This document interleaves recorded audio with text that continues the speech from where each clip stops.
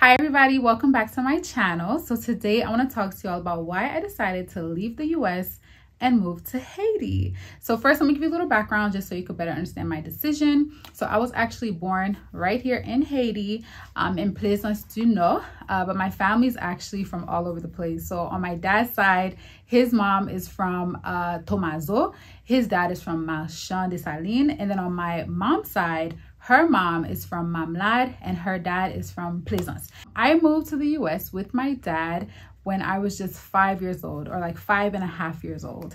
And I spent my entire life pretty much in Maryland. So, um, yes, the first thing I would say is that I know a lot of people when they leave when they're a kid or when they're teenagers, they pretty much never come back or, um, you know, 10, 15 years later, they go back or, you know, as a, an adult, they go back on their own. Um, but that was not my case, y'all. I was consistently in Haiti throughout my entire life. Um, my dad used to take me when I first moved. We used to go like every two years. And then it got to a point where he couldn't really come with me because of work and I would go on my own. And there was a service um, that American Airlines had, which I kind of think they probably still have it. So if you're a minor, you can just pay an extra fee and there's someone who like accompanies you throughout the entire traveling process. And so they would take me to the gate take me in the airplane. Once I got to my destination, someone else would come and take me off the plane. Um, I would go through immigration, baggage claim, customs, and basically they would just take me to the person was coming to pick me up. If the person was not there, I would wait with them until they showed up. So um, that's how I used to go to Haiti as a kid uh, by myself uh, throughout my entire life. The other thing is that I've always had this love for Haiti, this very deep love for Haiti from the time I was a kid. I don't even really know when it started, how it started, how it came about. I don't know if it was passed down from my dad uh, because my dad absolutely loves Haiti. And so, um, yeah, I don't know. I just knew that I always felt this very um, deep love and this connection with Haiti. And every time the plane would land, back in the day, we did not have a jetway, so there was nothing to connect the plane to the airport. They would have to wheel um, these stairs to the door, and the doors would open, and you had to walk down the stairs with your carry-on. Um, and yeah, and when the when I stepped outside on those stairs, I was hit by this hot wind. Um, and there's a certain scent that Haiti has, and I was just like, oh my gosh, I'm home. That's how I felt every single time I landed in Haiti. I was just so happy to be here. I just felt like something was just telling me, honey, you're home every single time. So um, yeah, that's how I always felt. And then the other thing is that my dad always taught me about Haitian history. From the time I was a kid, you know, he would always tell me all these stories, um, tell me all about the Haitian Revolution and all these other things. And I was so grateful for that because I wouldn't have learned any of those things because I was in school in America. So my dad made sure he taught me everything and he was telling me all these stories and I was just like, what? Like my ancestors did that. My people did that. Like they defeated Napoleon's army. Like I was so empowered by that at a very young age. I was like, oh my gosh, I'm gonna be able to do anything. Like I'm being serious with y'all. I was like, wow, what an amazing group of people. What an amazing place. And then the other thing he taught me was all about the things that happened from, you know, gaining independence, from becoming the first independent black nation to, you know, present time. So all the events, all of the things that happened leading up to it and I was just like, wow, you know, it gave me a better understanding as to why we were in the position that we were. And that also inspired me to want to do something when I got older. Like as a kid, I was like, oh my gosh, like this is going to be my mission. This is my purpose um, in life is to make some type of contribution to Haiti. As a kid, I said that. And I know um, I used to probably annoy my friends back in like middle school because that was when we were figuring out our purpose and learning about all these things. And I used to always talk about Haiti. I know they're probably like so tired of hearing about about Haiti. but I knew from a very young age, I was like, at some point in my life, I need to do something to help Haiti in some way, some somehow. But at, at, that age, you know, I didn't know anything about, you know, the field of international development and doing this and that. I was thinking like I'm gonna get rich and I'm gonna donate a whole bunch of money and do all this stuff. That's that's what I was thinking as a kid. So I didn't really know how I would go about doing things, but I just knew that was my purpose in life. Now, let's fast forward a little bit. So, of course, I went to university. Um, I studied business management because I love entrepreneurship. And then I was like, you know what? I need to study something else because I have this other passion. And so that's when I started researching and I learned more about the field of international development. And I was like, okay, this is what I need to do. I need to, you know, apply for grad school and I need to study international development. And um, that is what I did.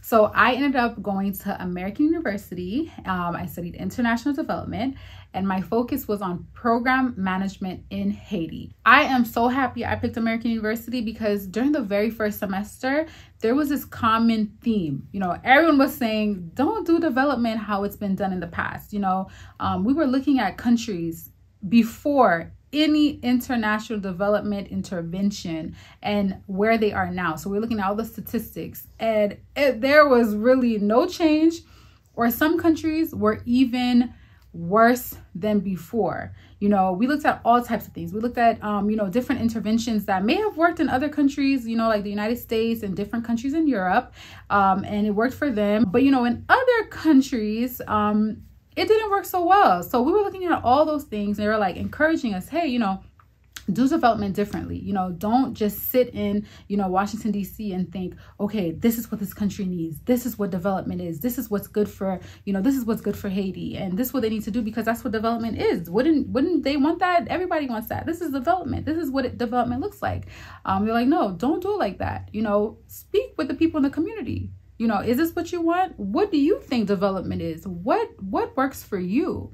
What would you like to see? There are a lot of organizations popping up as I, as you're watching this video right now, there is a group of people meeting to form uh, a, a NGO and they want to do something in such and such country. Let's just take Haiti for example, because there are always people coming in Haiti to do different things. They're like, you know what, we're going to go to this community. We're going to go and give them this because they really need that and things like that without even doing research, without going there, doing focus groups, interviews with the people, collecting data, you know, and then taking that data and analyzing it, you know, without doing any of that, just creating a project without even consulting the people in the community.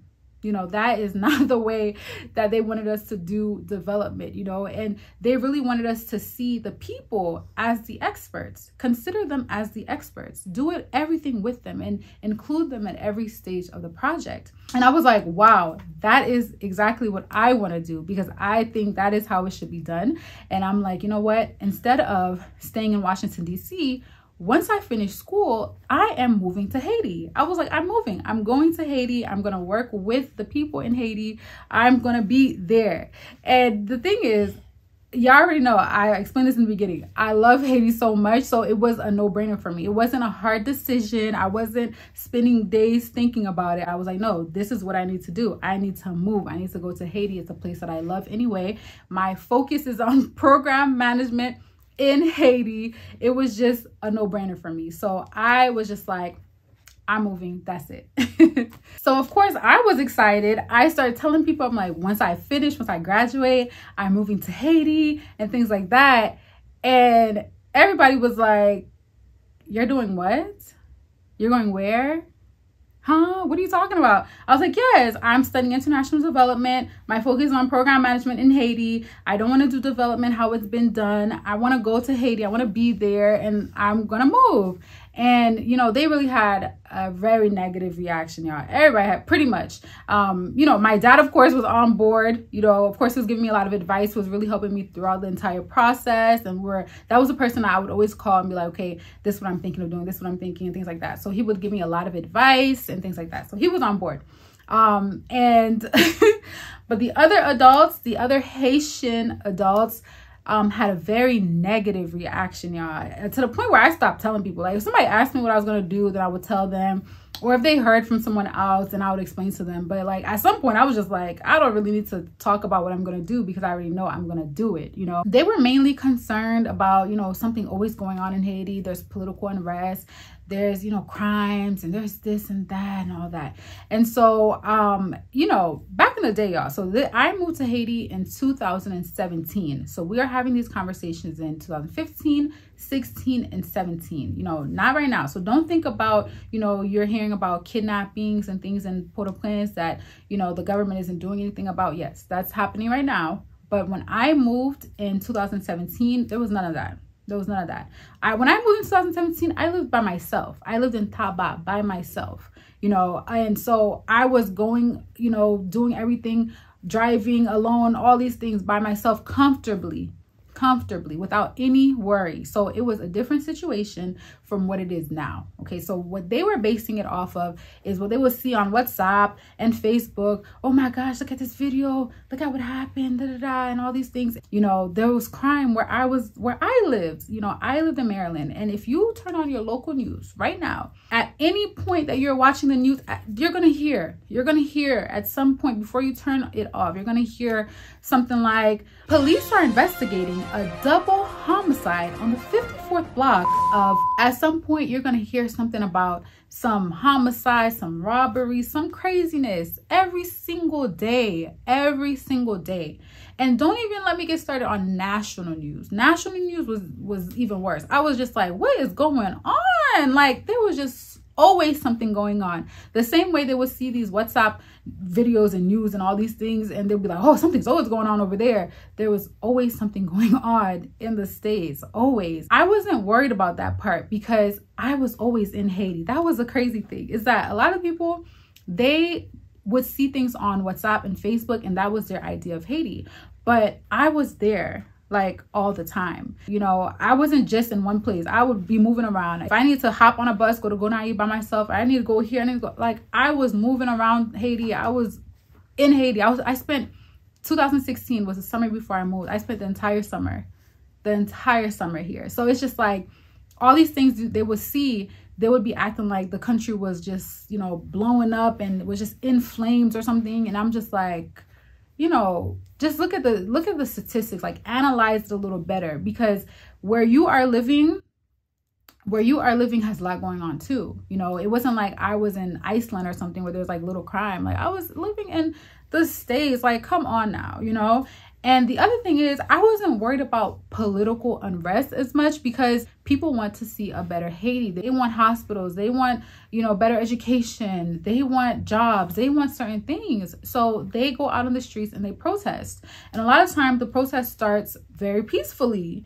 And out of nowhere, the police come and there's tear gas and there's rubber bullets and all these things. And then the protesters fight back and it becomes kind of you know a little violent and things like that. But they start off peacefully protesting.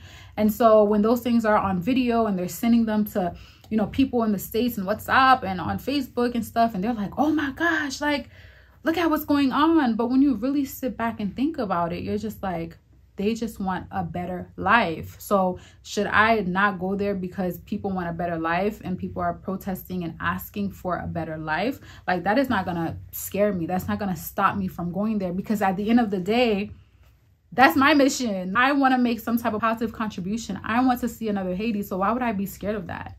You know, why would that stop me from going there? Every time someone has an opportunity to leave Haiti, they're going to leave, you know, and there's a lot of brain drain. A lot of people who are skilled, a lot of people who can do so something positive, um, they are leaving. And so what's who's going to be left? Like there's there's not going to be anything left for us. So if everyone's leaving and then when someone wants to go back you are just discouraging them. It's like you know should we just let haiti go to waste you know, like what did our ancestors fight for? Like our ancestors fought for us to be free.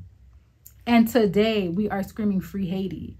Like, isn't there something wrong with that? Like, don't you think there should be some type of intervention and that we should try to do something that we should come together to try to to to pick Haiti back up and yes it is hard there are people who have spent their entire lives fighting for change and fighting for a different Haiti and they haven't seen much, you know, happen. So it is hard.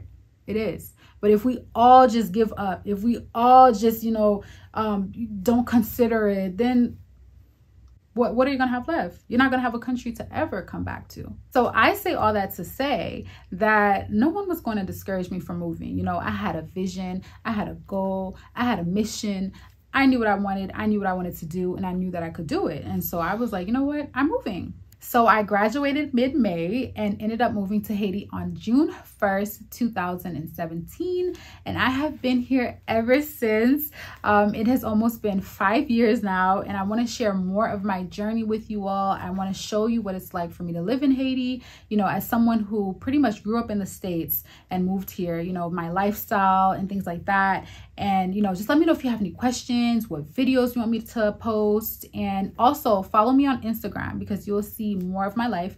And I have highlights of basically my, you know, my entire experience pretty much ever since I moved. You know, I've been documenting it on Instagram. And so you can go and follow me there. And yes, I hope to see you in another video. Bye.